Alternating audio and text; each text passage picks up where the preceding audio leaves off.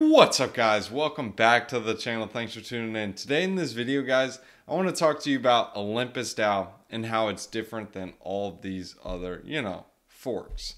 Let's go and explain it, why I'm super bullish on Olympus DAO, and well, it has something to do with airdrops guys. I know you guys like airdrops. I'm an Ohmie. I love Olympus DAO. Not financial advice. I'm not a financial advisor just want to talk to you guys about a couple things that people don't factor in the value of Olympus DAO compared to other forks. But TLDR, let's go and get into this. I'm going to try to keep this video short. I want to show you guys a couple of examples of some airdrops that Olympus DAO launched. I'm going to start with some small ones and then some larger ones. And then explain to you guys how you can get involved with other airdrops and how you can use this as an example for other protocols. One of them that dropped earlier was Guru. Guru was given to anyone who held staked Ohm. So if you guys are staking your Ohm, go check on Polygon. You probably have some Guru tokens. Um, and you can do whatever you want. You can 3-3 them, swap them, whatever. It's nothing crazy. It's not a big airdrop. Just wanted to talk to you guys about that one. Another airdrop that was given to early Ohm adopters and supporters. It was Iodine. It's basically just like a Ampleforth type of token. It's a rebasing coin. But TLDR is, guys, get involved with this junk. Um, is, this was just another airdrop. I'm not saying you can hold the token.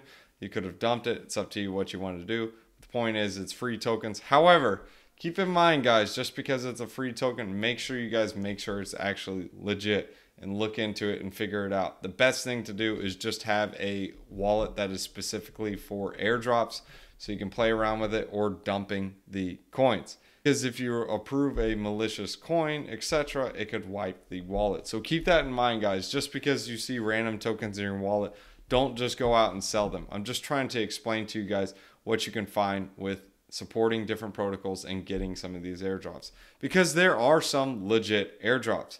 Make sure you guys get into the communities again so you can figure out and validate that the actual coin is somewhat legit. Look into the team, get into their Discord, and make sure before you do any approval swaps, etc., that it is actually legit. Some other ones that I noticed in Discord that really aren't worth mentioning, but this one I do want to mention. I saw a lot of quotes for this one in Discord. So Lobis Finance is just a similar Ohm fork same junk, different day. However, they are doing something a little bit different. They are doing it mainly with governance tokens, so they're trying to hold the market share on governance. But anyways, um, I want to explain to you guys the airdrop on Lobis was massive. There were some people in Olympus DAO. There were literally quotes in Discord saying, "Yeah, I just got airdropped a Kia," or "Hey, I just got airdropped a Toyota Camry." Basically they got airdrop the dollar value in those vehicles. It's crazy. Welcome to DeFi. Welcome to crypto. Now you're asking yourself, wait, I'm an Ohmie. Did I get that airdrop? Well, this is one of those things you need to understand. This is why you guys need to get involved in the discords. You guys need to get into Telegram. You need to research this stuff and look into it. I literally stumbled upon this because I was researching about Lobis and I was like, wow, that was interesting. And then I was like, wait, people got airdropped this? Wait, how did they get airdropped this? Hmm, what's going on? Anyways, I did some more research and I found out that they had this article. This was actually in the voting proposal. It's on Snapshot. If you go under the Olympus Snapshot, let me go ahead and show you guys what I'm talking about. You can actually see where it actually talks about this. So if you scroll down into the proposals, it's actually in proposal 44 and it talks about hints at a airdrop. As you can see right here, Lobis to airdrop Lobi to Ohmies via Merkle tree. Now, this article came out after the airdrop, just kind of explaining the qualifying criteria, but at one point in time, this token was worth $7,000. Okay, keep that number in mind. Let's go ahead and go over to the qualifications so you guys can see what's up. So as you can see, the Ohm improvement proposal 15, uh, it didn't matter just as long as you voted. Same thing voted here, here, and must have seen over level one prior to da da da da. See further details for boost by any level. So if you were a Discord user, you would have gotten this. Uh, server boosters translate translators and art enjoyers, etc. So this shows like the different tiers as you can see. Level one, you would have got one Lobi, level two, two Lobi, and so on. This is based on Discord. And then also you have like different boosts on the table. And then you have the governance airdrop.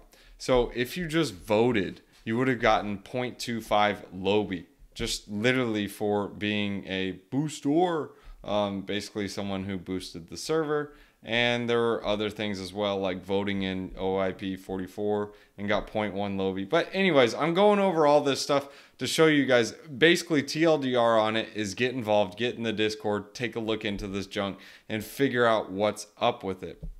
Now, if you guys are staking your Ohm, this would help with the qualification. This is why you guys need to get involved. I want to use this as a example of what can happen even with governance tokens. A lot of people find that governance tokens are useless. Let's dump them.